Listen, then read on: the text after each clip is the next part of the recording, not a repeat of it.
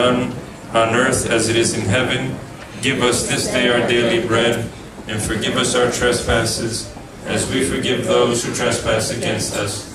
And lead us not into temptation, but deliver us from evil. Ages of ages. Amen. Enjoy the evening. three ports Geneva, London, and New York.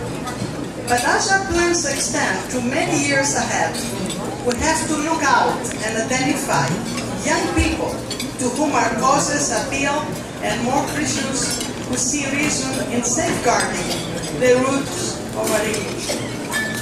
That is why we endeavor to achieve in conserving St. Catherine's manuscript. since 500 AD.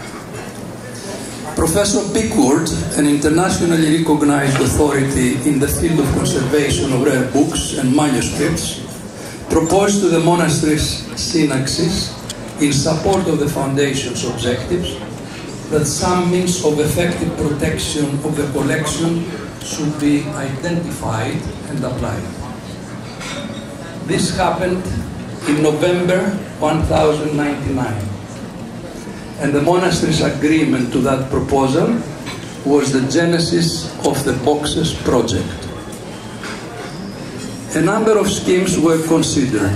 Different traditional library protective boxes were trialed at the monastery, and the stainless steel option proved superior to all other alternatives from all points of view, even if not the easiest to bear financially.